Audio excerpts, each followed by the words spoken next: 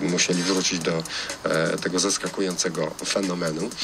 Ale z nie mniej zaskakujących fenomenów to kolejny program telewizyjny, który e, być może przyciągnie e, widzów. Nazywa się Projekt Lady, aczkolwiek ze smutkiem e, muszę stwierdzić, że roboczy tytuł nie przyjął się, a brzmiał on Damą być. Czyli znowu anglicyzmy zwycięską batalię stoczyły nad językiem polskim. Z językiem polskim no trudno. Krót, krótko mówiąc, chodzi o dziewczęta i kobiety w wieku 18-27 lat, które niezbyt dbają o swoje maniery, e, prowadzą no, rozrywko, rozrywkowy tryb życia, e, lubują się w, w skąpych strojach, nie do końca ubranych pokazywać, e, nie do końca ubrane pokazywać, a mm, no, można powiedzieć, że są na granicy dobrego smaku, jeśli chodzi o styl bycia, że się tak wyrażę. No i projekt Lady, e, czyli inicjalnie damą być, to jest taka idea, żeby podglądać w telewizji, jak e, te dziewczęta i kobiety są, że się tak wyrażę, socjalizowane. E, I kto się będzie tym zajmował? E, pani Małgorzata Rozenek która nie wiem z jakiego powodu, ale okazuje się być właśnie najlepsza e, do tej roli. Były dwie opcje. W jednej wersji trzeba było całą e, gromadkę zabrać do Wielkiej Brytanii i to podobno było tańsze, bo e, oryginalnie ten serial pochodzi z, z czy ten projekt telewizyjny pochodzi z Wielkiej Brytanii i droższa wersja e, tutaj w Polsce. Trzeba było e, działać. Zdecydowali się e, twórcy na, tą, na tę droższą wersję. No, zobaczymy, jak to będzie wyglądało, czy, czy, czy dziewczęta wyjdą na ludzi, że się tak e, wyrażę. a ważną sprawą, która też była wyszukiwana w internecie w kończącym się tygodniu, to e, czy, czy, czy, czego nie było tydzień i dwa tygodnie temu, z tego co pamiętam, znowu prognozą pogody, czy pogoda. A to prawdopodobnie dlatego, że rzeczywiście e, skoki temperatury, ciśnienia i zaskakujące opady atmosferyczne znowu e, traktowały nasz kraj z nieubłaganą konsekwencją, no ale w końcu mamy czasy globalnego ocieplenia. E, I tutaj są chyba dobre informacje, proszę Państwa, bo te, ten weekend gdzie niegdzie spadła temperatura nawet do 22-23 stopni Celsjusza, co jest dla bardzo wielu naprawdę dobrą informacją, a w przyszłym tygodniu będzie podobnie. Mało tego, nad samym morzem zaczyna się zaznaczać e, e, wpływ e, niskiego ciśnienia i frontu atmosferycznego z nad Norwegii, gdzie w ogóle jest chłodno, w związku z czym południe kraju przez poniedziałek, wtorek to jeszcze wyż nad Węgier ciepły, a później począwszy od Pomorza będzie napływać chłodniejsze powietrze, chłodniejsze na początku sierpnia oznacza 20 parę stopni Celsjusza. Dobra informacja, że 30 stopni raczej nie powinno być, tak przynajmniej twierdzą e, synoptycy. To tyle, jeśli chodzi o to, co w kończącym się tygodniu najczęściej było przez nas w internecie wyszukiwane. Ja przypominam, dziś po godzinie 8 w programie Koło Historii porozmawiamy o obecności w literaturze i poezji e, powstania warszawskiego i motywów powstańczych. E, po godzinie 9 wierzę w zwierzę, to zapraszam doktor mm, e, Dorota Sumińska. Po 10 e, będziemy rozmawiali o skardze obywateli wschodniej Ukrainy, skardze, proszę Państwa, do Europejskiego Trybunału Praw Człowieka o to, że mm, obywatele musieli opuścić swoje miejsce zamieszkania i no, czuli się zagrożeni utratą życia i zdrowia z racji konfliktu zbrojnego, który tam wybuchł. To zaskakująca historia i więcej na ten temat opowie nam profesor Ireneusz Kamiński z Helsińskiej Fundacji Praw Człowieka. To po godzinie 10. A, a za kilka chwil na naszej Używaj go, używaj teraz i co? I rzucimy też okiem na e, regionalne portale internetowe. Niedzielny poranek w Radiu TOK FM.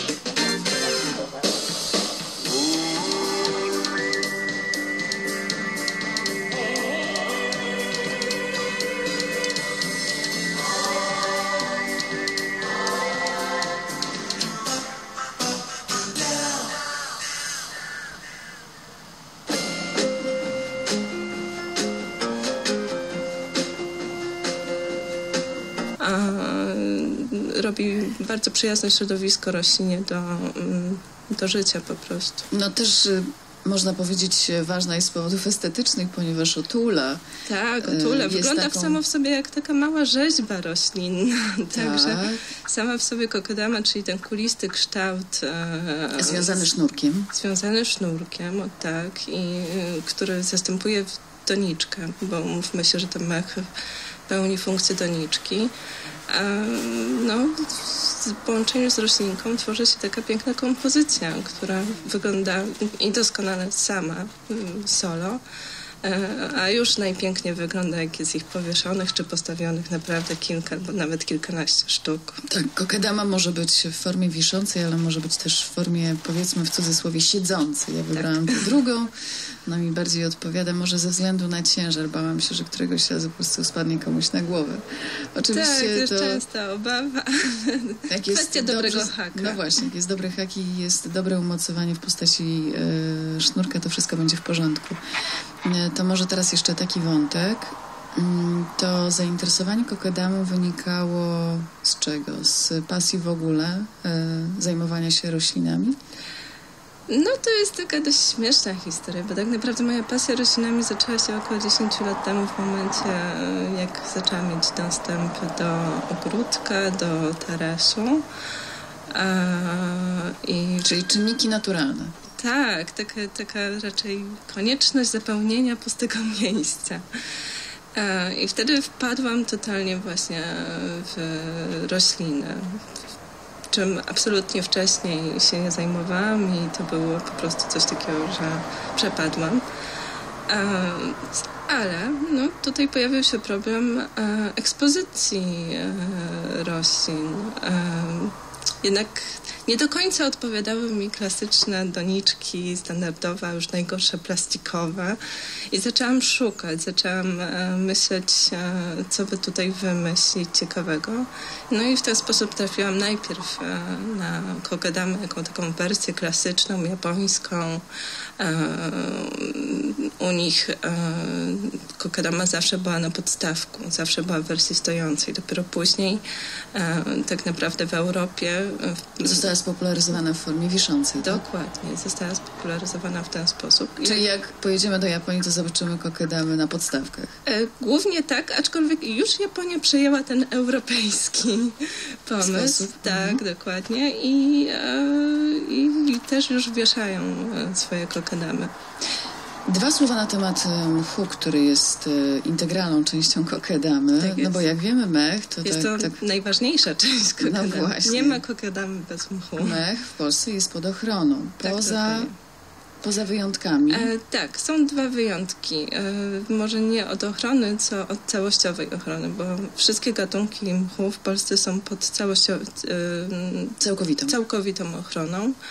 E, Tylko dwa, e, są dwa wyjątki, które są pod częściową ochroną, ale co nie zmienia faktu, że nie możemy tak czy siak sami ich zbierać w lesie. Czyli musimy mieć specjalne pozwolenie od leśnika, jeżeli chcielibyśmy Dokładnie tak. z jakiegoś powodu wykraść mech z lasu. Dokładnie tak. Nie można nigdy tego robić na własną rękę. No i skąd ten mech na warsztatach, zapytam. No, Jak, jak zdobyć mech do stworzenia kokedamy w takim razie, no bo jest to w jakimś sensie dylemat moralny, tak? No jest to utrudnienie. E, Mech można zbierać na własnych ogródkach. To trzeba zaznaczyć. że Jeżeli ma się e, własną przestrzeń, własne pole, własny las, ogródek, cokolwiek, możemy zrobić Czyli swoją tym- hodowlę, jednym słowem, tak? Swoją uprawę, tak. e, oczywiście tam możemy zbierać e, wszystko, co nam się podoba. E, ale no, ja zaopatrzam się w mech na giełdach kwiatowych. Czyli I ten taki jest- już jakby w jakiś sensie spreparowany, bo trochę przysuszony, taki... Niestety bardzo ciężko jest dostać żywy mech, taki świeżutki, mięciutki, e, który e, jest, nazwijmy to sobie, prosto z lasu. Ale też z drugiej strony może dobrze.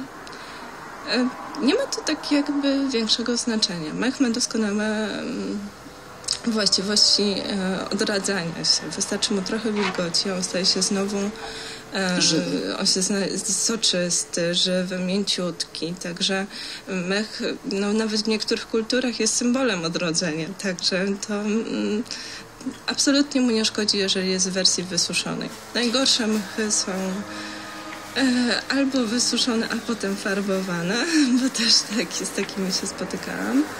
E, Albo no już w ogóle sztuczne. Przygotowanie kokedamy mm, nie jest łatwe, dlatego że zdobycie samych elementów stanowi pewien problem u nas w kraju, dlatego że, tak jak się wczoraj okazało, potrzebna jest nie tylko nasza ziemia, ale też e, specjalna ziemia japońska, spruszona i do tego jeszcze nawóz e, w postaci takiej właśnie. Tak, znaczy tak uś- y, tłumacząc dokładnie, co jest potrzebne, e, to przede wszystkim potrzebne nam są japońskie ziemie, a ta nasza ziemia ogrodowa jest e, potrzebna tak naprawdę w jednej trzeciej. E, I używamy dwóch japońskich gleb. Jedną jest akadama, jest to po prostu glinka, która jest palona, a potem em, kruszona na drobne kawałki. I wygląda jak e, ziarno kaszy O gryczanej. 17 na stadionie Tak, Polonia, nasze. to tam jest Tak, w ogóle święto. E, A drugą, No tam jest e, święta no, drugim policji, jest święto e, policji. getto, Rok temu, absolutnie czy jakiś tam straży, rok temu, to myśmy w Europie się w tam naturalnym kiełbasek najedli z rożna, ponieważ, tam e, będzie wystawione, tam jakaś wystawa e, będzie. Pól ryżu. Wstęp wolny. Jest to po prostu, to są szczątki roślin, e, e, szczątki ryżu. E, Kaszanka, I on ma swoje doskonałe właściwości, że zachowuje się jak plastelina.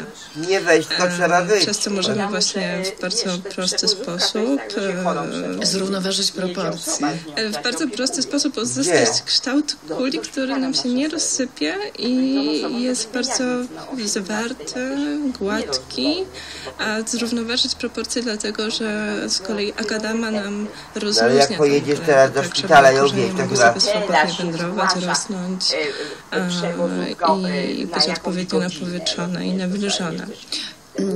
Jasiu, zapytam Cię o taki aspekt, który pojawił się przy okazji No spotkania ale dlaczego po południu, a nie zaraz? która tworzy, tak jak sama to nazywa, rzeźby w butelce, projekt Forest Forever, czyli Tak, las w butelce. I tam No bo tutaj te debilki o do Japonii mówią, a tu jesteśmy w Polsce. No. Myślę, że ci kobiety stanowią piękny dodatek do ochotniczych straży pożarnych, No. e, niż są trzone całe jednostki. E, rzadziej biorą w akcjach, e, raczej zajmują się administracją, organizacją, pozyskiwaniem. No ale to ona nie może pojechać tramwajem, już taka inwalidka. Nie może pojechać tramwajem, Pożarnej rozumie. gdzie bez kobiet jednostka by praktycznie nie istniała. To one stawiają No ale jak ty mówisz, że ona miała tutaj seks z tym facetem i to Ale co... no to miałam, To To co, to na Nieraz, nie kurwie, raz no, zdarzało się, że do akcji jeździły tylko kobiety. No, no to miesiąc, co to nagle człowiek nie jest inwalidą, chyba że ją pobił. E, Cytując e, Krystynę Schneider, miała, naczelniczkę e, Ochotniczej Straży Pożarnej rok pokazujemy, że jesteśmy w stanie sobie poradzić w różnych przypadkach. Nasze dziewczyny nie boją się wyzwań. E, tak, Sama e, naczelniczka przygodę z Ochotniczą Strażą Pożarną rozpoczęła już jako dziecko. no. To wynikało z tradycji rodzinnych. Dziadek, tak wuj, brat byli strażakami. Ojciec też aktywnie działał na rzecz jednostki. E, I mnie również naturalnie ciągnęło do tego, by brać udział w działaniach Ochotniczej Straży Pożarnej. Działa No. OSP Chludowo od 94 lat. Liczy ponad 100 członków, członków ale tych aktywnych jest około 30. E, I oczywiście przeważają kobiety wśród, wśród nich. To głos Wielkopolski. A kiedy e, bierzemy do ręki Dziennik Bałtycki, e, możemy przeczytać artykuł, który jest, wydaje mi się, że dotyczy kwestii bliskich mieszkańcom wszystkich miast, a szczególnie aglomeracji miejskich. Więc pisze Dziennik Bałtycki. Taryfowe absurdy szczególnie dają się we znaki pasażerom w czasie tegorocznych wakacji. 1 lipca w Gdańsku wprowadzono podwyżkę cen biletów. Zrobiono to specjalnie na wakacje, by ruch turystyczny odciążył z kosztów podwyżki mieszkańców. Problem w tym, że władze Sopotu i Gdyni wzrost ceny biletów prowadzą dopiero od 1 września. W związku z tym w Trójmieście funkcjonują obecnie aż 34 rodzaje biletów jednorazowych. Przykładowo, za jeden przejazd autobusem gdańskiego ZTM po Sopocie zapłacimy 3 zł. Gdy na naszej trasie przekroczymy jednak granicę Gdańska, musimy mieć już nowy, droższy bilet za 3 zł i 20 groszy. Podwyżka w spowodowała też problemy w honorowaniu biletów na liniach międzygminnych. Gdańsk. Trudności z kupnem nowych biletów komunikacji e, miał już wcześniej wiele, teraz przez podwyżkę mieszkańcy skarżą się. A gdzie jest opieka społeczna? Gdzie jest pogotowie ratunkowe? Gdzie jest... Transportu Miejskiego e, 8 łóżek. Także 8 wersji biletów jednorazowych. Przecież tam jest ta gruba Ewka, dobrze, gdzie ona jest? No? Szczególnie system karnetu sprzedawany przez kierowców. W dzień można kupić wyłącznie pakiet 5 biletów po 1,5 złotego każdy. W nocy dwa bilety po 2 zł 30 groszy. Przez to, że tych biletów w karnecie dziennym jest nieparzysta liczba, zazwyczaj po podróży zostaje ten jeden bezużyteczny. Za złoty 50, mówi pan Piotr, pasażer Gdyńskiego Zakładu Komunikacji Miejskiej. E, To jest niesamowite zamieszanie i pewnie mieszkańcy Trójmiasta e, słuchają tego, tylko kiwają przy radioodbiornikach głowami smutno. No to ty pod jednym bok, ona pod drugą i... Nie kochana, ona jest E, Słuchaczy, którzy mieszkają w aglomeracji śląskiej. Tam też gdzie niegdzie podobne problemy się pojawiają, ale dość taka myśli sobie, jak to dobrze, że nie mieszkamy w Trójmieście, tylko w mieście. Gazeta Olsztyńska, proszę Państwa. Pisze, że śląscy policjanci otrzymali zgłoszenie z jednego ze sklepów. przyjeżdżają, tak mężczyzna poinformował to że ekspedientka sprzedaje alkohol osobom nieletnim. Policjanci pojechali na miejsce, żeby zweryfikować zgłoszenie.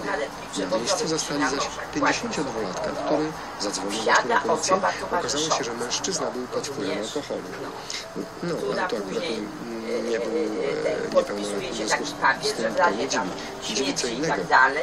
To, że z relacji świadków i ekspedientki. sytuacja wyglądała tak, zupełnie inaczej niż ta przedstawiona w telefonie na policję. Mężczyzna przyszedł do sklepu i chciał wziąć na tak zwany zeszyt paczkę papierosów.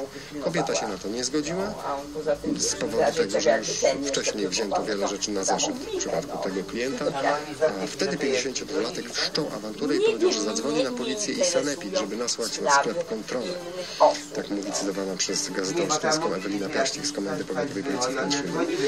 Teraz sprawa miłośnika nikotyny zostanie przekazana do sądu. Mężczyźnie grozi zawezwanie policji bez podstaw, może nawet grozi pozbawienie wolności. O.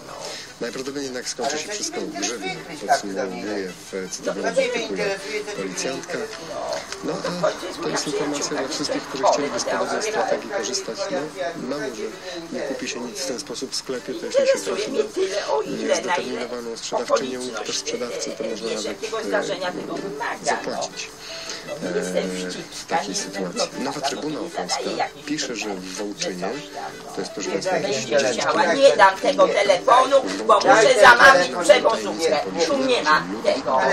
No. Nie, na pogodowie można dziewięć. Jesteś po prostu jesteś świnia podej o coś, jak nie ma żadnego telefonu. Ma Krzewiczyn, który to w końcu oficjalnie zgłosił, Bo ty się nie interesujesz, ty się interesujesz. Ludzi, ludzi obrażasz, tu dyletant. Proszę wynocha tam na śniadanie do niej, bo wiem, że jesteś głodna, nie masz co zjeść i idziesz do niej tylko po to. I tutaj dupę trujesz, dyletantką jesteś ty i do widzenia. Szafa od dziewiątej do dziewiątej. O, takiego bała. Siedzisz w tej szafie cały czas, składasz tu. Szafa od dziewiątej do dziewiątej. Muszę wziąć ubranie z szafy. Ja mam inne sprawy, mam poważne sprawy, a mnie tu opowiadasz. poważne. Brzdąkałeś na tych klawiszach całą noc, światło było rażące. W sprawie tego. Topolińskiego, No, tego no, Topolińskiego.